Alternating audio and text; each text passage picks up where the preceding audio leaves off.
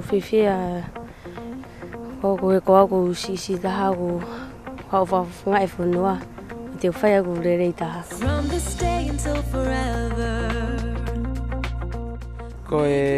ta ha ne fa na ta ma ko e just play ta pe ne kamata e just play kamata no fa to nga i i ho no firifiri ma he wa noa ta ha wa ki ka center of excellence pe a fai pe no to ka i me he ka fai a ko o mahino pe ko kitan ko nina e hape ko notare niti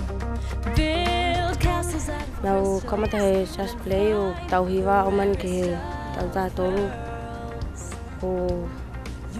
pula ka o pule e pulu mo awa moia ko e pe se ni ya ko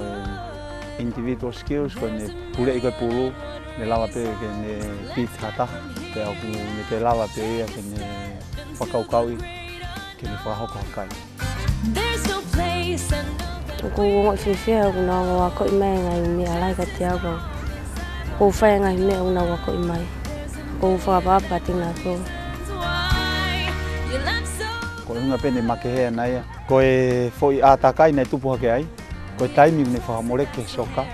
pe amo ene to e tokanga pe a ana fa foi tui tui mo ne mana ko ke vai na ko ki ku ka ole va se ini a kono nga e me ngo ko si si ta ha ya ka ka se ini a he ono firi ki he ua ki to ta ta ha ro ni mo o ta mo ki u e ko ka ze u fa funga e fo mo mo ma u fa nga mari ke ha wa ko he ni mo בעיר. La ko tau ko si vain middle school. Ko ko hu taun ki tubo high school from ko lesson ko sai ko tonga mo sainis. Na o poa ko fefia ne tama ki o ko fo fo ngai fo na ka to ang ko ka te wa ko. Ko tu e hoko fiang fo va pulang ko ne ne ko fo kau ke. kohate me ai ke ne te hapa ai ai te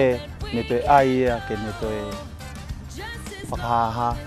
hono tale niki wana tō. Usia peka seimi he anga pamai under 17 pamai center of excellence ko ki tō tāna e kalongolong pamai kaike. But ka koe taimini oku mahino leva oku lava se inyo express herself and me alahi. not only on the field but off the field.